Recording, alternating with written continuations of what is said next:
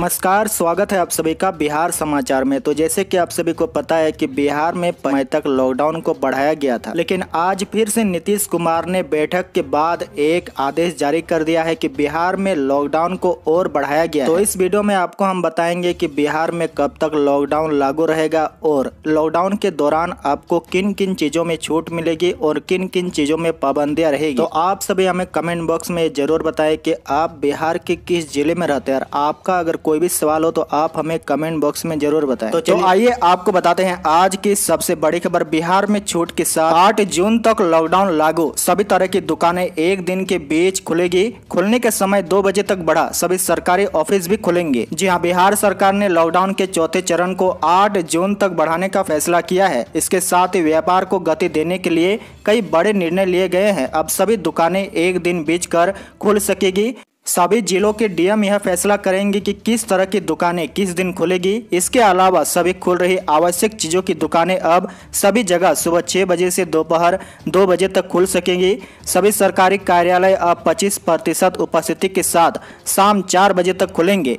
सभी प्राइवेट कार्यालय अभी बंद रहेंगे। आपको बता दें कि सीएम नीतीश कुमार ने सोशल मीडिया के माध्यम से लॉकडाउन बढ़ाने की घोषणा की है और कहा है कि इस बार के लॉकडाउन में व्यापार के लिए अतिरिक्त छूट दी जा रही है। सभी लोग मास्क पहने और सामाजिक दूरी का पालन करें। अपने मंत्रियों और अधिकारियों के साथ वर्चुअल बैठक के दौरान मुख्यमंत्री ने यह फैसला लिया है। तो आइए जानते हैं कि लॉकडाउन के दौरान किसमें पाबंदी रहेगी और किसमें छूट मिलेगी। तो सबसे पहले सभी प्राइवेट ऑफ़िस अभी बंद रहेंगे। इनमें सिर्फ़ इनमें सिर्फ़ ज़रूरी सेवाओं से संबंधित कार्यालय को ही खोलने की अनुमति है। सड़क पर सभी प्रकार के वाहन का परिचालन बंद रहेगा। आवश्यक पैदल निकलना भी प्रतिबंधित रहेगा। सभी स्कूल, कॉलेज, कोचिंग संस्थान, ट्रेनिंग एवं अन्य शैक्षणिक संस्थान बंद रहेंगे। सरकारी स्कूल, कॉलेजों में किसी तरह की परीक्षा नहीं होगी। सभी धार्मिक स्थल, सामाजिक, राजनीतिक, मनोरंजन खेल कूद शैक्षणिक, सांस्कृतिक एवं धार्मिक आयोजन समारोह बंद रहेंगे। Cinema hall, shopping mall, club, swimming pool, stadium, gym, park आदि भी बंद रहेंगे।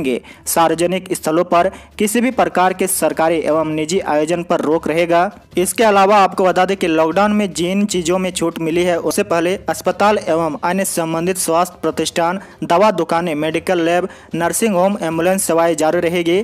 ठेले पर घूम घूम कर फल, सब्ज़ी बेचने वाले सुबह छह बजे से दोपहर दो बजे तक बेच सकेंगे।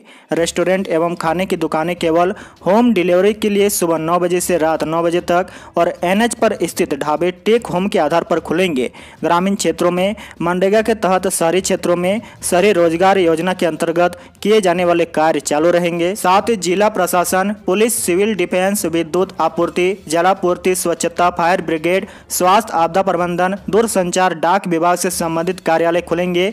बैंकिंग, बीमा एवं एटीएम से जुड़ी सेवाएँ, औद्योगिक एवं विनिर्माण कार्य से संबंधित प्रतिष्ठान, सभी प्रकार के निर्माण कार्य चालू रहेंगे। ई कॉमर्स से जुड़ी सारी गतिविधियाँ, कृषि एवं इससे जुड़े कार्य जारी रहेंगे। प्रिंट एवं इलेक्ट्रॉनिक मीडिया, टेलीकम्युनिकेशन, इंटरनेट सेवाएँ, ब्रॉडकास्टिंग एवं केबल सेवाएँ जारी रहेंगी। पेट्रोल पंप, एलपीजी, पेट्रोलियम से संबंधित खुदरा एवं भंडारण प्रतिष्ठान, निजी सुरक्षा सेवाएँ चालू रहेंगी। आवश्यक खाद्य सामग्री तथा फल एवं सब्ज़ी, मांस, मछली, दूध, पीडीएस की दुकानें भी खुलेंगे। इसके अलावा रेल, हवाई सफ़र करने के लिए आप जा सकेंगे। अपने प्राइवेट गाड़ी से आवश्यक कार्यों में शामिल सेवाओं के कर्मी निजी वाहन से जा सकेंगे। स्वास्थ्य सेवा से जुड़े वाहन चलेंगे। आवश्यक सेवाओं से जुड़ी सरकारी वाहन भी चल सकेंगे।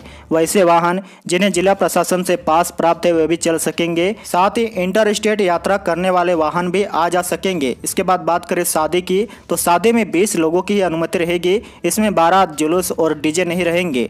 तीन दिन पहले नजदीकी थाने को सूचना देनी होगी। अंतिम संस्कार श्राद्ध में भी बीस व्यक्तियों की ही अनुमति होगी। इसी के साथ ही आशा करता हूँ कि आप सभी को लॉकडाउन से जुड़ी सारी गाइडलाइन के बारे में पता चल गया होगा। अगर आपको वीडियो अच्छा लगा तो आप वीडियो को ज़रूर शेयर करें। साथ ही अगर आप चैनल पर नए हैं तो चैनल को सब्सक्राइब ज़रूर करें।